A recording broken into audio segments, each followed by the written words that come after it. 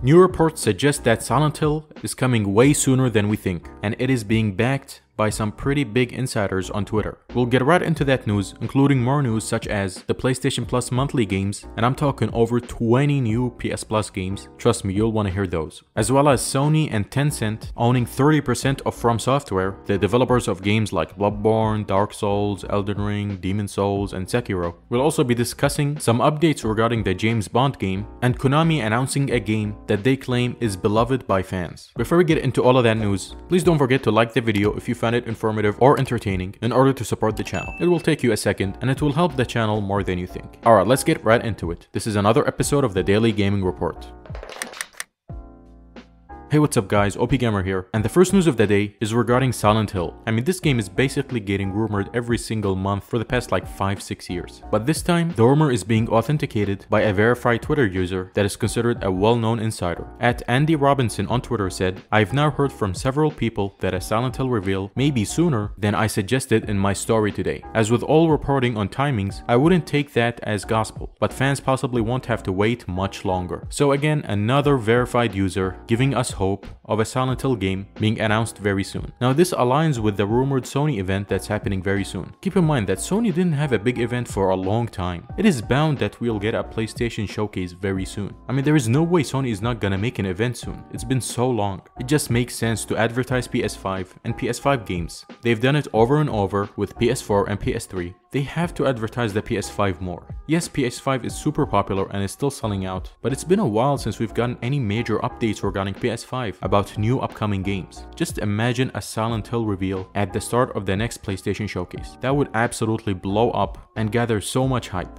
Remember, we have gotten leaks of a Silent Hill before. We even gotten images of the reported Silent Hill game, and it definitely looks awesome. Now yes, it's not 100% verified that these pictures are true, but considering that Konami themselves took down these pictures as soon as they saw them on Twitter does hold a lot of value. Considering that the last Silent Hill game was in 2012, which was Silent Hill Downpour, fans are absolutely desperate, including myself. I really want a new Silent Hill game. Even playing old Silent Hill game today, they're still super fun to play. So just imagine if somehow Hideo Kojima and Konami worked together again on a Silent Hill game. That would be a monumental moment in gaming history, and I pray that it happens. Alright, the next news topic is regarding the PlayStation Plus monthly games for September, and this is truly a big one at least for me. So the essential games, which are coming on September 6th until October 3rd, you just have to download them and you will keep them forever, as long as you have the subscription. It is Need for Speed Heat on PS4, Granblue Fantasy Versus on PS4, and Toem on PS5. Now yes, these aren't super exciting, right? For the extra and premium catalog, which is available on September 20th, Deathloop on PS5, Assassin's Creed Origins on PS4, Watch Dogs 2 on PS4, Dragon Ball X Xenoverse 2 on PS4, Spiritfarer Farewell Edition on PS4, Chicory A Colorful Tale on PS4, Monster Energy Supercross, the official video game 5 on PS4 and PS5, Alex Kidd in Miracle World DX on PS4 and PS5, Rabbids Invasion, the interactive TV show on PS4, Rayman Legends on PS4, Scott Pilgrim vs. the World Complete Edition on PS4, and it doesn't end there. If you're a premium member, you will be getting these classics, which are available on September 20th. Siphon Filter 2 on PS1, finally I'm super excited for this, as well as the next game, which is the Sly Collection, which is a PS3 game, Sly Cooper Thieves in Time. Finally we're getting some good classic games. And I'm not even done.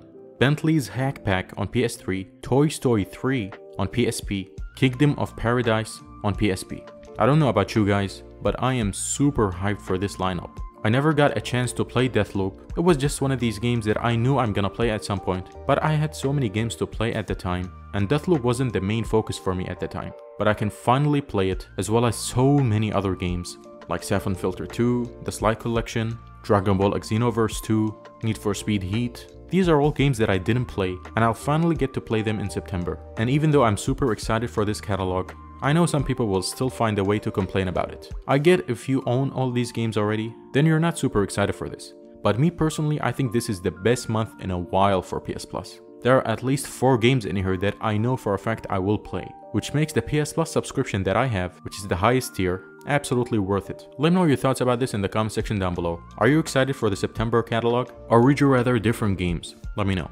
Alright, moving on, we'll be talking about the James Bond game which is a game that is being developed by the Hitman studio IO Interactive. As reported by VGC, a financial report from IO Interactive suggests its James Bond game, Project 007, may not be released before March 2025. Credits to Dark Detective on Twitter for gathering this info. He says, IO Interactive has published its annual report 2021-2022, which is the year ending 31st March 2022. Revenue came in at DKK 538 million, which is more than twice the management expectations thanks to Xbox Game Pass. And because of these numbers, it is predicted that Project 007 will be scheduled after March 2025. Now yes, I know that the game is long ways off, but I didn't expect a 2025 release. I mean that is minimum 3 years? I understand announcing a game and getting hype for a game, but doing it 3 years in advance is a bit much.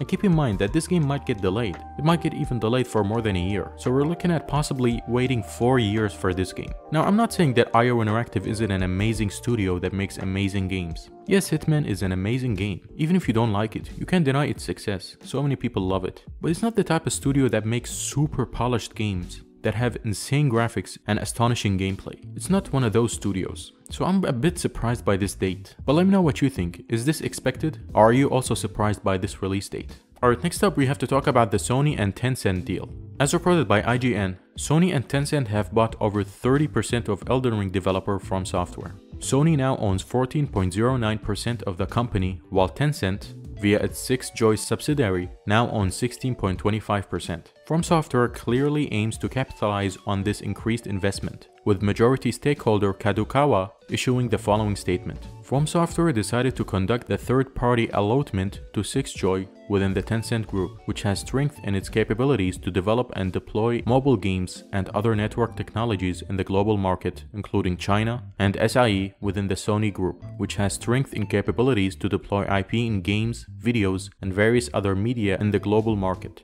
concurrently and separately. So this is actually a big deal. 15% is not a small amount to own for a company. I mean, keep in mind, this is one of the most renowned developers ever. I mean, Elden Ring was such a huge success. The game is already in the top 10 best-selling games in US history. And the game just came out less than a year ago. And it won all these awards. Most likely will win Game of the Year, although God of War Ragnarok is also looking promising. But I'm not sure if it's gonna beat Elden Ring. We'll just have to see about that.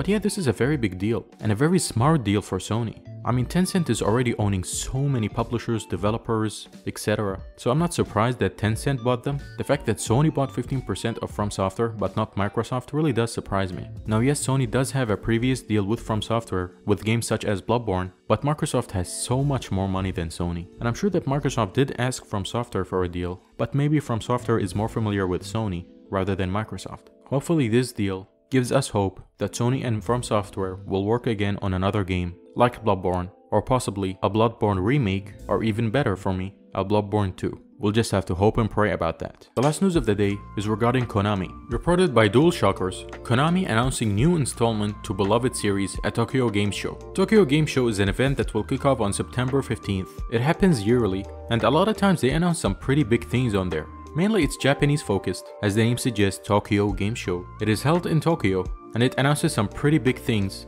about Japanese related games. Now there are a lot of beloved games at Konami. It's not just Metal Gear and Silent Hill, there is also Castlevania, Zone of the Enders, Bomberman, and Contra, so they have more than Metal Gear and Silent Hill. But let's be real, these are the two games that are most beloved by fans when it comes to Konami. So obviously a lot of people were saying that Metal Gear or Silent Hill announcement is coming at TGS, which also happens to coincide with the recent rumors that I just reported on regarding a new Silent Hill game being announced sooner rather than later. Regardless of the announcement, I'm just glad to see that Konami is finally back at making games. I really hope this announcement isn't about a pachinko game because that will really piss me and a lot of people off. I mean Konami isn't the brightest, but I'm sure they're not that disconnected. This has to be something good, which let's be real, anything good from Konami I will take, as from the past 5 years, nothing good has come out from them. But I'm hoping for the best at TGS 2022. Alright, that's all the news for today. I hope you guys enjoyed this episode. If you did, again please do leave a like in order to support the channel. Also subscribe to the channel for your daily gaming news, and don't forget to hit the bell notification icon to never miss any future uploads. That's all for me now, I'll catch you next time.